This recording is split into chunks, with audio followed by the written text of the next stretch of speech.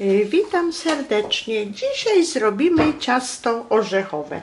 Potrzebować będziemy 3 jajka, szczyptę soli, łyżkę kakao, pół szklanki zmielonych orzechów, półtora szklanki mąki pszennej, półtora łyżeczki proszku do pieczenia, pół szklanki oleju i pół szklanki jogurtu. Jajka z cukrem ubijam na puszystą masę. Jeszcze 3 czwarte szklanki cukru. Masę jajeczną już mam ubitą. Dolewam olej, jogurt i dosypujemy pozostałe składniki. Kakao, proszek do pieczenia, orzechy i mąkę. I składniki należy połączyć. Wyłożymy do formy, formę 20 na 20 cm. Mam wyłożoną papierem do pieczenia i ciasto będziemy piekli około 40 minut w 170 stopniach. I będziemy mieli ciasto orzechowe.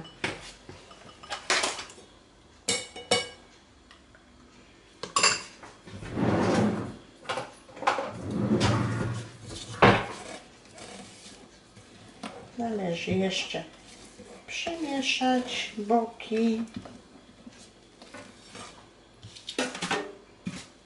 i wykładamy do formy.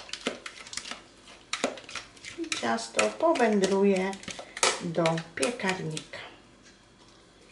Zawsze sprawdzamy suchym patyczkiem, wykałaczką albo patyczkiem do szaszłyków, czy już ciasto jest upieczone, patyczek musi być całkowicie suchy. I tak przygotowane ciasto orzechowe wędruje do piekarnika.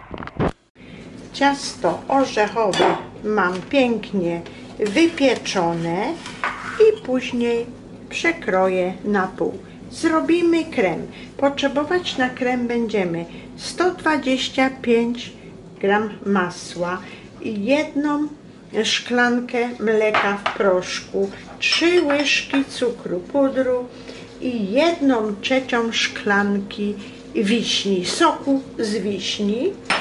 To mamy krem, a tutaj mam półtora szklanki wiśni. Wiśnie odmroziłam i dwie galaretki. Galaretki rozpuściłam w jednej szklance wody i połączę z wiśniami i tężejące wiśnie wyłożymy na ciasto. A teraz zrobimy krem. Masło z cukrem i mlekiem w proszku będziemy ucierać na puszysty krem. Dodajemy y, niewielkie ilości i pamiętamy, aby masło miało temperaturę pokojową. Ucieramy. Ciasto orzechowe przekroiłam na pół. Krem mamy puszysty. Dzielimy na trzy części, bo jeszcze damy krem na wierzch. I tutaj mam już tężejącą galaretkę. I teraz należy ciasto kremem posmarować. To będzie tak cieniutko kremu. Rozsmarowujemy całą powierzchnię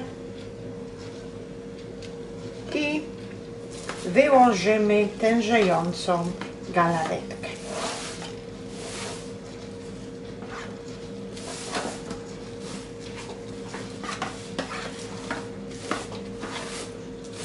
A wierzch zasypiemy mielonymi orzechami.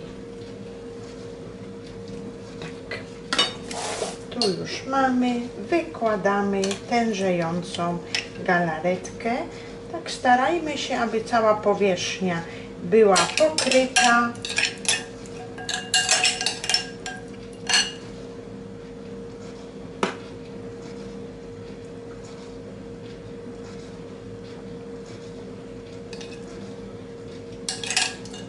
Teraz należy ciasto przykryć. Dociskamy. I tak jak już wspominałam, wierzch smarujemy pozostawionym kremem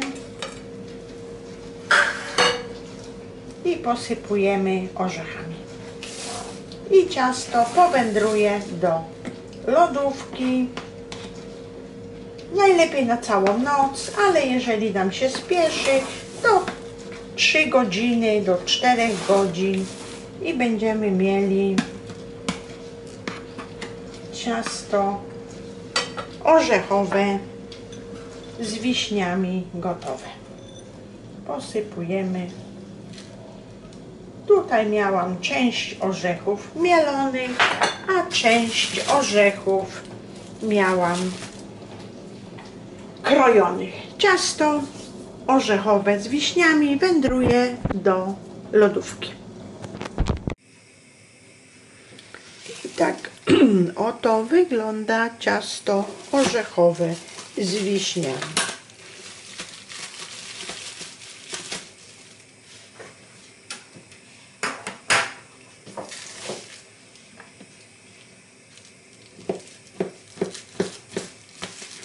Ono było całą, przepraszam, całą noc w lodówce.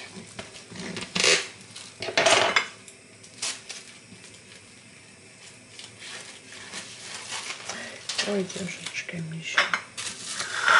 I tak oto wygląda ciasto z wiśniami. O ile Państwu mój przepis się podoba, to serdecznie proszę o łapkę w górę. Ciasto orzechowe z wiśniami.